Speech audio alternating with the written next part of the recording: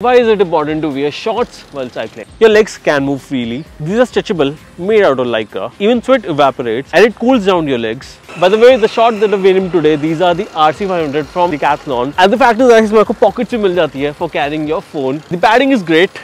The flexibility is also great and I'm actually having good feeling while riding. अगर आपको want और भी decathlon के प्रोडक्ट्स दिख रहे हैं इस चैनल के ऊपर तो आप इस चैनल को सब्सक्राइब कर सकते हैं बिकॉज आपके लिए सबसे पहले मैं यहाँ पर